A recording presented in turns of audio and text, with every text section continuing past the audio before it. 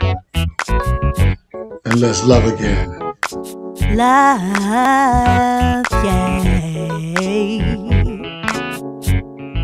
Peace. Hi, I'm Kamal, aka Minister Kamal. And I want to tell the COVID patients who have some kind of damage to your lungs what I feel is one of the best things that you can do to restore your lungs as much as possible. Now, my disclaimer is that I'm a layperson. I'm not a doctor or medical person, but I went through an experience where I was in isolation for over a month. And uh, in that month, I had to make sure I got out of bed and I had to make sure that I did my breathing exercises.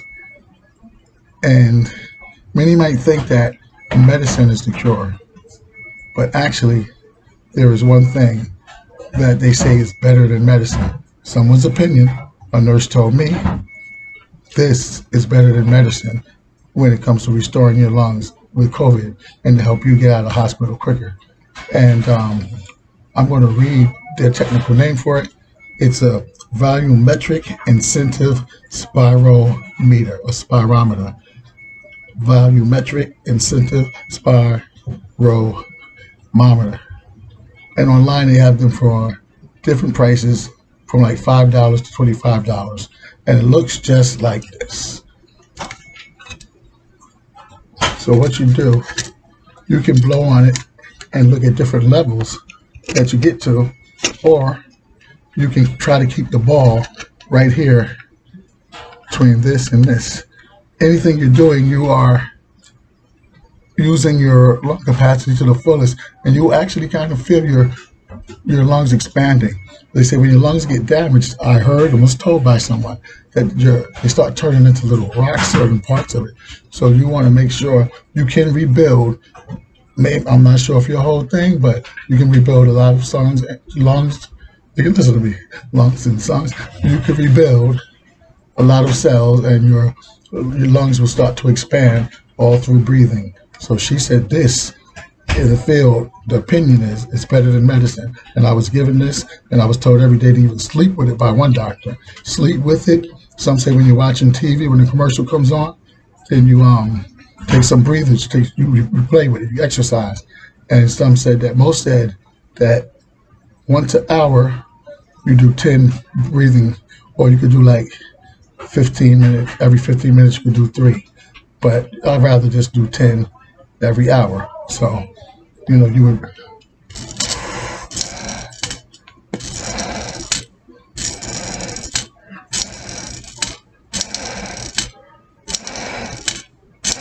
That's the first way I learned. And the second is to try to keep the ball in between these two lines here. Here I got to see it. It's harder actually, but you can feel it in your chest.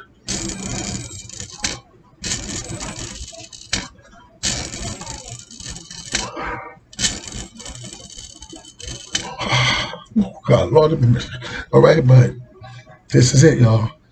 You know, some people might tell you, but now you know. All right, thank you. Enjoy. Come on.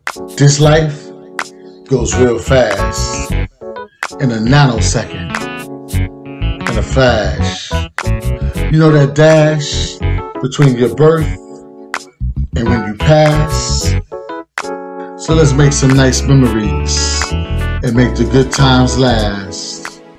Hi, my name is Kamal, aka Minister Kamal, because after all I went through, I really got close to God in a tight situation. I've been in the hospital for over a month. I was in isolation due to COVID 19 that floored me. It came out of nowhere. Um, I'm an assistant gym teacher, and I was daily with the children lifting weights, running, uh, walking, playing volleyball and kickball and things like that, going to Planet Fitness and things like that. And one night I'm standing up in my kitchen helping my son with his homework, and I did like the Harlem Shake. And my wife was like, Are you falling down, sleeping, and standing up? And I said, No, nah, nah, what are you talking about? Bang, like a log. I fell flat on my face and gave myself a black eye. And um, that's to make a long story short. So they rushed me to the hospital. And um, from that point on, basically the goal, you may think that you need a lot of medicine. I gotta hurry up. This thing's beeping. This, this thing, man, ooh, it's very crazy. Um, um, you might think that there's a certain medicine that's really good for COVID, but after it damages some of your lungs, and you might think there's certain food or a certain herb, but the main thing is your some of your um, lungs shrink. They start shrinking due to the fluid, and I don't really know all of that, but I know that something with COVID starts eating away at your lungs, and so what you have to do is well, first of all, I see some of my lungs turn to like little rocks, and um, when I do my breathing exercises, then like one of them is pot belly yoga, which is very simple.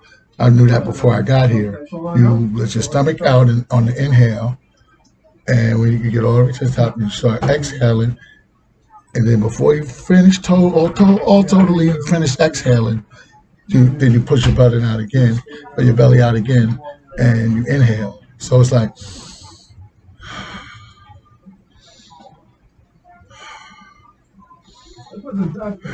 right? That's pot belly yoga. You can look it up so you know you get a better illustration because I'm not any doctor or anything like that.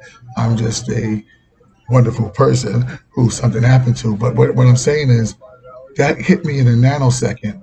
I was unvaxxed and I, so I had nothing to block. I think before the other variants came out, I was probably walking right through COVID because a doctor told me that athletes and athletic people they usually dodge the COVID bullet. But why did they put themselves through going all that they went through when they didn't have to? All they had to do was take a vaccine. I was I was anti-vaccine. I told everybody in my job and everywhere I'll be the last to take it. But now I am negative. I have antibodies, and in three months I can take a vaccine, and I'm going to take it because I had nobody blocking for me when things got to another capacity. And I, I say it like this: like I have a, a homeopathic cousin, um, nurse, and she told me one time when back in the day when I used to get the flu or get a cold, you know, you drink your orange juice, your soup, your tea, you know, and stuff like that, and you take your vitamins and your medicine. But you know, she told me to take raw garlic. So I would take raw garlic, cut it up into little pieces, so it's easy for me to throw up in my mouth. And um, that sometimes would knock the first two times it knocked the flu out and sometimes we used to take cayenne pepper. So those kind of combinations would usually knock it out. But what happens when you use that or herbal remedies and it doesn't work, and you don't want to use Western medicine?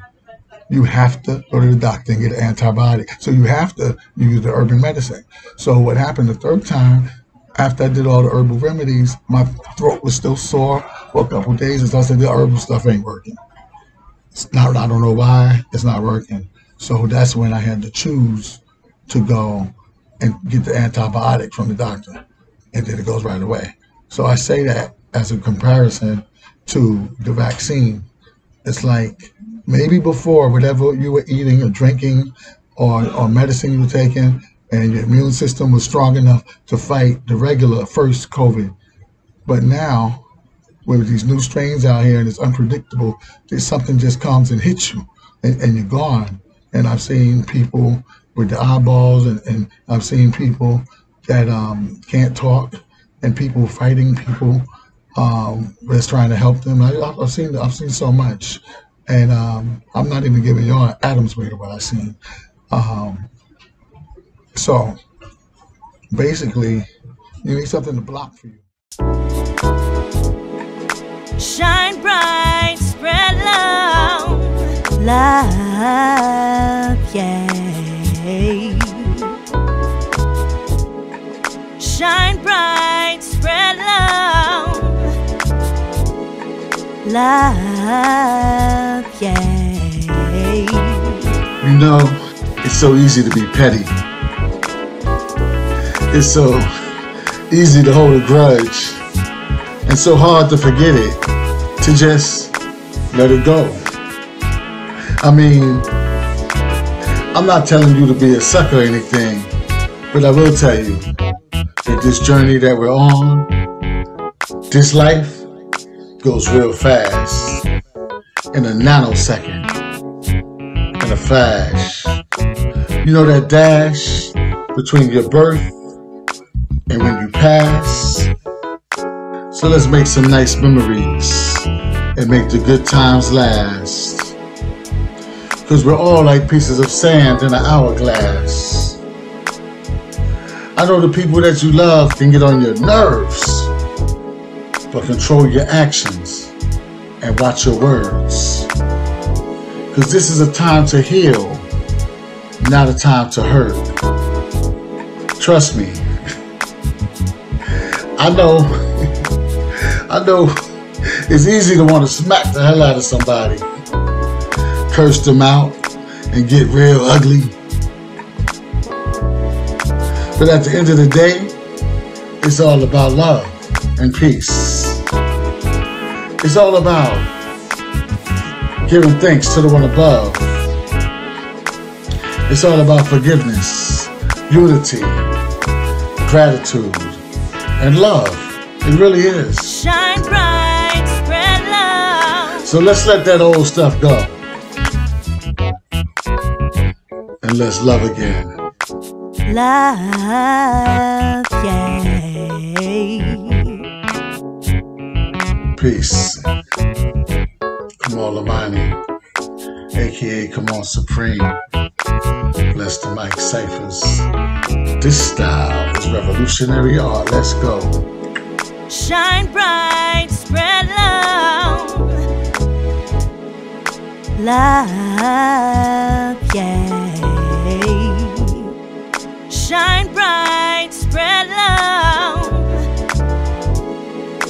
Love, yeah.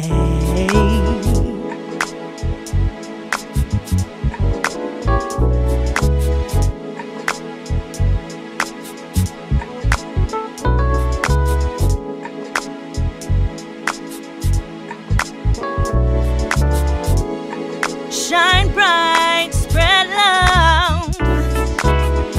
Love.